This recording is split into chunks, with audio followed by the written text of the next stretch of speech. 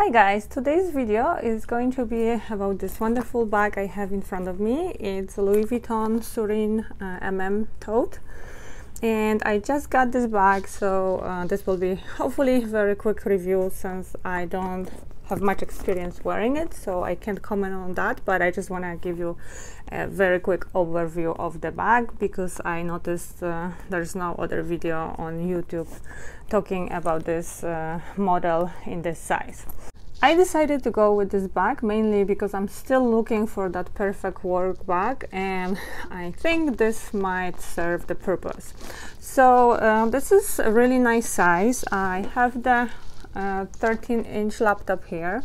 So the laptop goes into the main packet. Uh, yeah, it is a little tricky but you can get it in. It fits pretty well uh, once it's inside. Uh, and also I have some folder and the folder goes into the mid uh, packet as well. Uh, there are two other packets, magnetic packets on the side and unfortunately the magnetic packets will not fit any folders. Uh, maybe some uh, paper can fit but uh, the size of the folder and uh, laptop is not um, does not fit. So I just uh, a little more about this bag. I think this is a very new model. I believe this bag comes from the uh, one of the recent collections. And it comes in two sizes. This is the mm and there's also another one very cute uh, bb size. And i think they're practically the same uh, except i'm not sure if bb has uh, the tag. Um, as far as the size, I have the measurements here. So it's uh, the length is 14.6 inch, uh, the height is 10.2, and the width will be 5.9. And uh, price-wise, uh, it sells in the States for 24.20, and in Europe it's 1840 euros. So for comparison, I prepared my beautiful, lovely uh, indestructible Neverfull. So just to give you a brief, brief um, comparison, of course, uh, Neverfull, it's gonna be bigger. It's a really big bag that holds uh, everything in the world. Uh, this bag is just a different shape, so doesn't have such a wide opening. So if you see, we're comparing the top, this is much wider.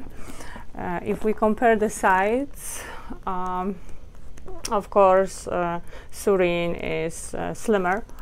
Uh, if we look at the bottom, the same thing. Uh, Neverfull is much wider. Uh, and the height, of course, uh, Neverfull is also taller. But like I said, Never to Neverfull is uh, called Neverfull for a reason. It just uh, holds so much. That's why I absolutely love this bag. It's very practical, very lightweight. But I must also say about this one, uh, it's not heavy. The chain uh, looks very sturdy, but it's very lightweight chain, uh, which I think is a huge plus because uh, sometimes the hardware can add uh, significant, weight to the bag. And the lining is made of, uh, I think, like a suede material.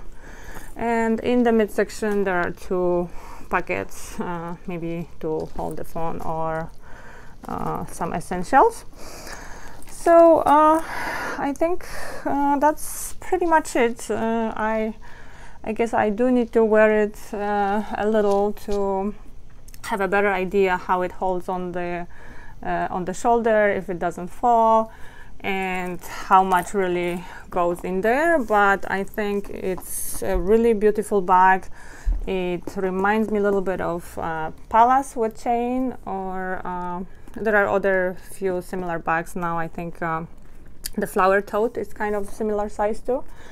So if you are interested, I would definitely uh, advise you to go check it out in the store. And if you're looking for something that can actually work for uh, for work, for meetings, and putting the smaller size laptop, I think uh, that might be a great option.